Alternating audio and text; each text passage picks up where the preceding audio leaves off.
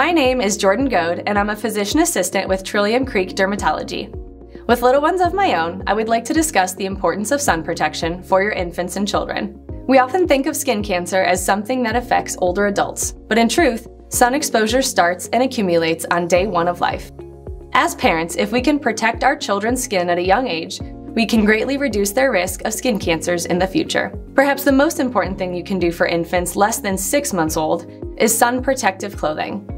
This would include lightweight long sleeve shirts, pants, wide brim hats, and sunglasses. At this age, your infant's skin is extremely sensitive, so physically protecting their skin with clothing is a safer choice than sunscreen. Sitting in the shade is also very important.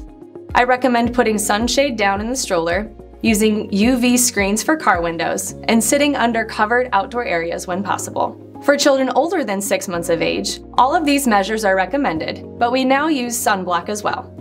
The active ingredient to look for in a children's sunblock is zinc oxide, or titanium dioxide, with a SPF of at least 50. Also be sure to reapply sunscreen every two hours to avoid accidental sunburn. For more information, please call us here at Trillium Creek Dermatology. Our number is 330-725-0569. You can also visit us online at tcohio.com.